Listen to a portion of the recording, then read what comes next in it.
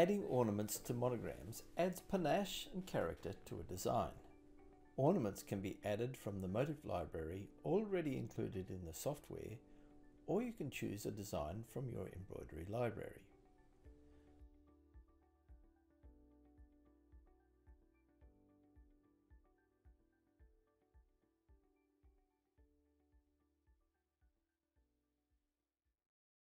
The Placement tab includes a number of predefined positions for your design, which you can choose by selecting from the More arrow at the right of your dialog box.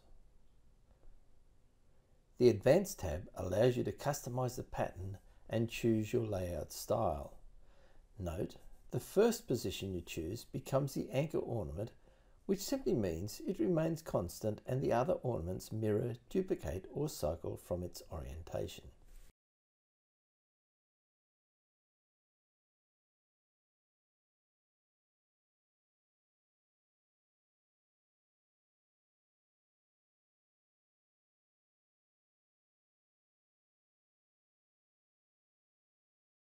Changing the size, rotation or mirroring the anchor ornament will reflect in each of the other ornaments.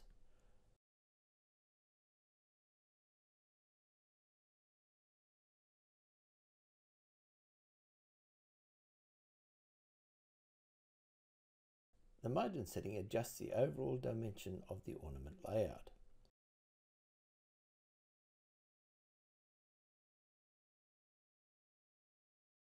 It is possible to use multiple ornaments in one design.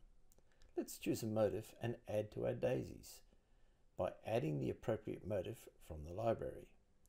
We can adjust all of the settings we have just discussed independently of the other motif or design.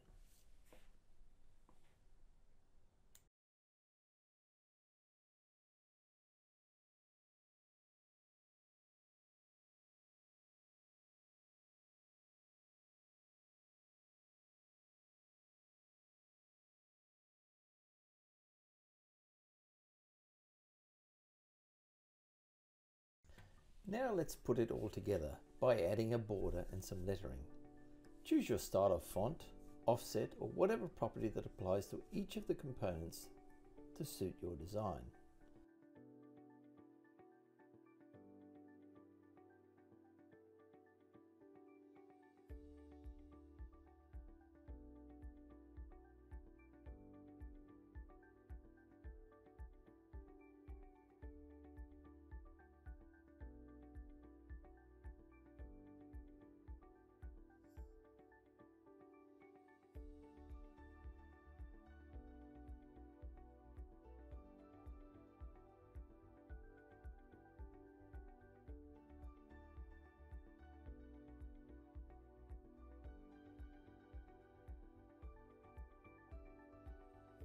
Designs tab puts it all together for you in one operation, but now you know how to edit, add and modify all the components that make up the design.